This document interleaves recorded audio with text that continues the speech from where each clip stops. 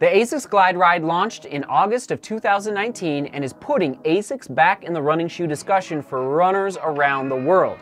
For years, many runners wondered when will ASICS catch up with the times, as the pace of innovation from the likes of New Balance, Hoka, Nike, and others seemed unstoppable. That wondering ended this past summer with the arrival of the Glide Ride. ASICS' thesis behind the Glide Ride is straightforward. The shoe lets you run longer while expending less energy. Is it true? I'll get to my answer in one minute.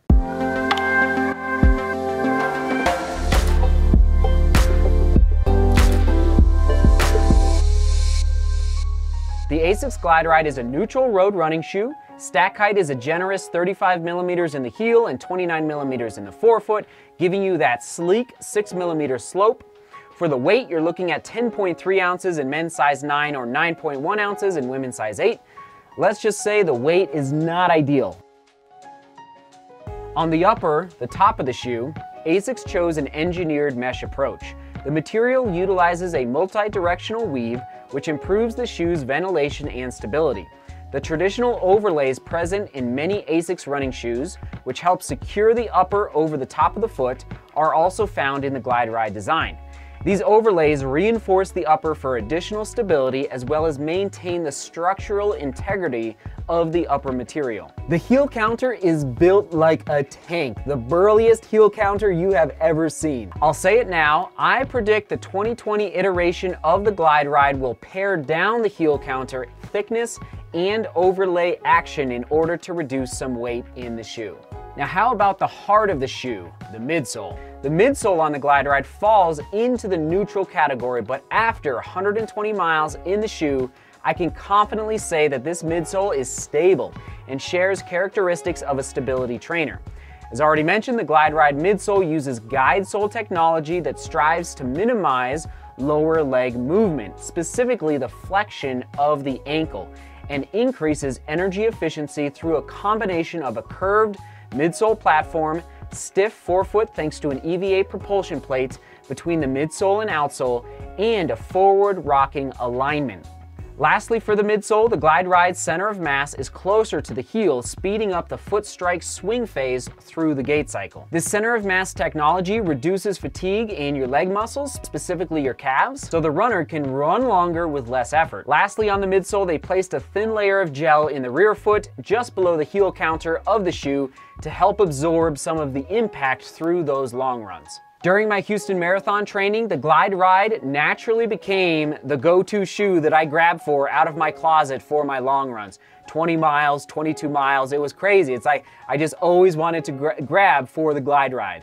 I felt stronger and more in control of my legs the last five to six miles during my marathon training long runs, which I credit, yes, to this new midsole design. Onto that outsole, the bottom of the shoe, where you immediately notice the large decoupled groove which travels from the heel all the way up to the toe box.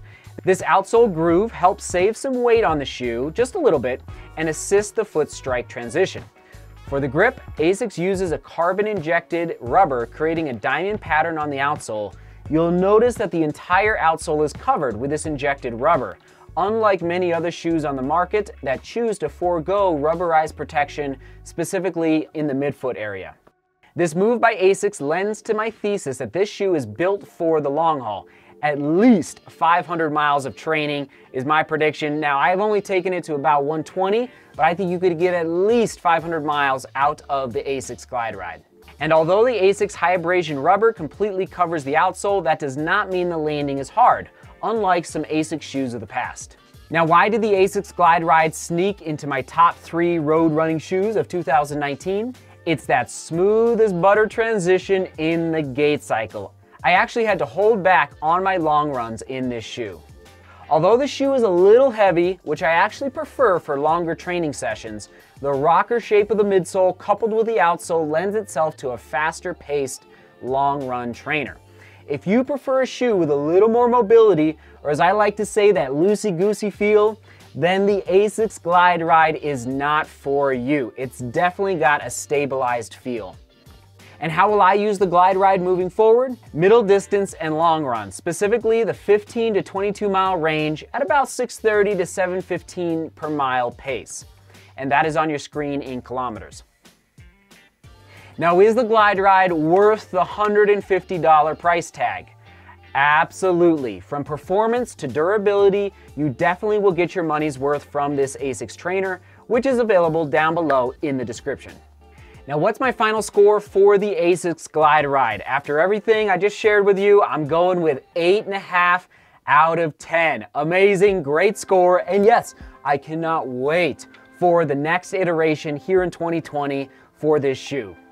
That's it for today for the ASICS Glide Ride. For some more full reviews of running shoes, check out this playlist right here. And then if you haven't subscribed, make sure you do click on that icon right there. All right, everyone, thanks for being here. Thanks for watching. Seek beauty, work hard, and love each other.